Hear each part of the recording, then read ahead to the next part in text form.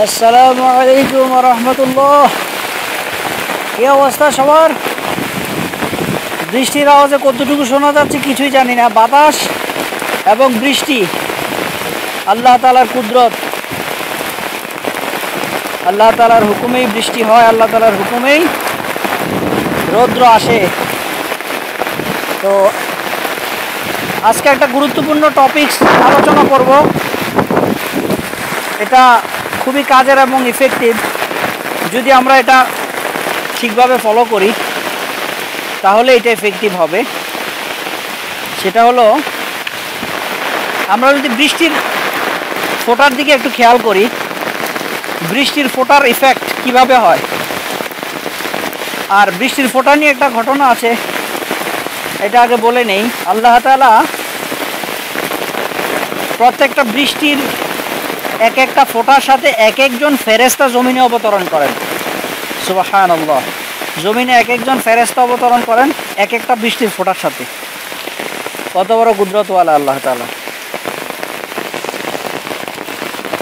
তো বৃষ্টির ফোটার ইফেক্ট এটা আফটার এফেক্ট দিয়ে করা সম্ভব।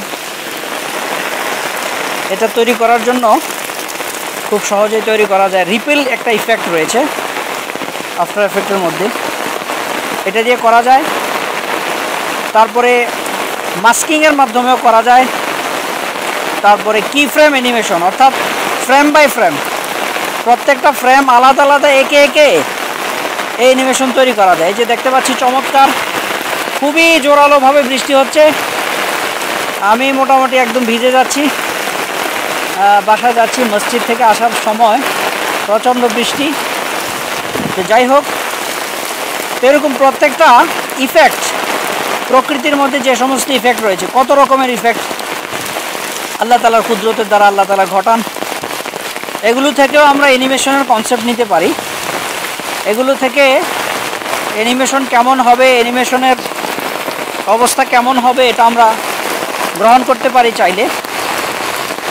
কিন্তু কোন ইফেক্ট কোন টুল দিয়ে করা হয়, এটা যখন আমরা প্র্যাকটিস করব তখন ওই জিনিসটা ভালোভাবে আমাদের আয়ত্তে আসবে। এই জন্য সহজ যে সমস্ত টুল রয়েছে, আমাদের চ্যানেলের মধ্যে যে লেসনগুলি রয়েছে, এই লেসনের সহজ টুল মনে করে অনেকেই ভাবে যে এটা তো সহজ। এই টুল দিয়ে তেমন কোনো কাজ করা যায় না। কিন্তু এই টুল দিয়ে যদি আমরা চেষ্টা করি, তাহলে সহজ টুল শেখার কারণে কঠিন টুল দিয়েও আমরা কাজ করতে সক্ষম হব। এই জন্য বৃষ্টির সিনারি এটা থেকে আমরা শিখতে পারি এই জিনিসগুলি। তাহলে আশা করছি এভাবে প্র্যাকটিস করতে থাকব। সহজ লেসনকে সহজ মনে না করে এটাকে বাদ দিব না।